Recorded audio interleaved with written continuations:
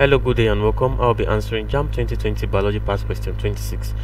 Unicellular organisms transport essential nutrients directly to all parts of their bodies by the process of diffusion because they have A. A large volume to surface area ratio B. A large surface area to volume ratio C. Their body is immersed in the nutrients and D. Their outer membrane is made of cellulose.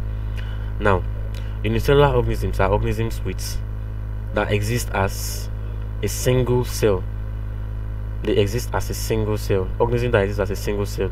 An example of such organism includes amoeba, paramecium, euglena, and the rest. Now these organisms exist as what at cellular level. They exist as a single organism, a um, single cell. That's why we call them unicellular organisms. Now these organisms transport essential nutrients from the environment via diffusion. And like you know, diffusion simply refers to the movement of molecules from a region of higher concentration to a region of lower concentration. It is evenly distributed. So they gain nutrients now because their own concentration is lower compared to that of the surrounding.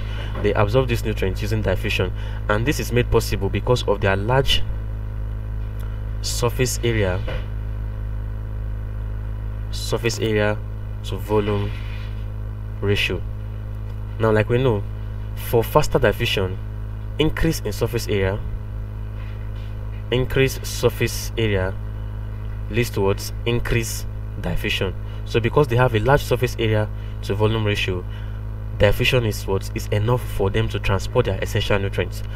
And I say organisms like amoeba, paramecium, and euglena uses this process. So due to large surface area to volume ratio, and that is option B not a large volume to surface area ratio, a large surface area to volume ratio. Thank you and ensure subscribe to the channel for more videos and past questions.